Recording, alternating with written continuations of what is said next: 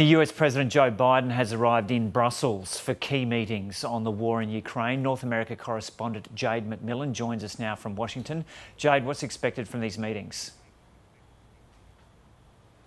Well, Joe Biden has a packed schedule in Brussels tomorrow. He'll attend an extraordinary NATO summit as well as meetings of the European Council and the G7. This is an opportunity for all of those leaders to come together face to face roughly a month since Russia's invasion of Ukraine began.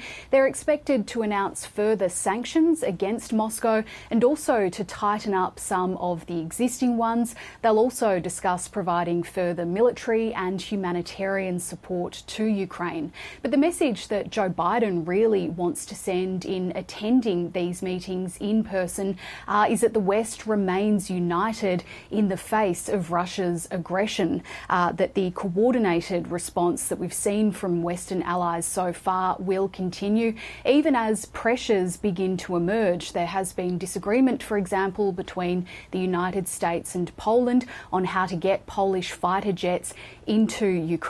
So Joe Biden wants to discuss those next steps uh, with leaders face to face and to send a message, I suppose, to uh, Western allies, but also to Russia on uh, the, the sense and the continued sense of, of isolation that Russia is dealing with.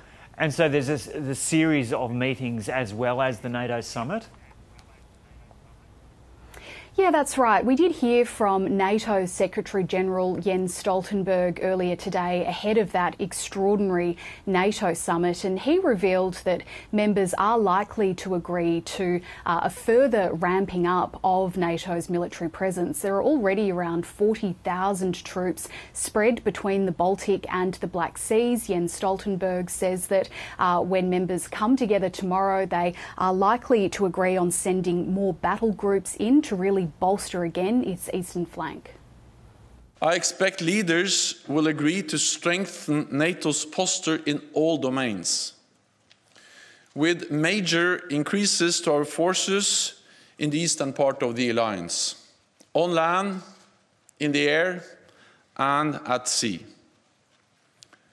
The first step is the deployment of four new NATO battle groups in Bulgaria, Hungary, Romania, and Slovakia.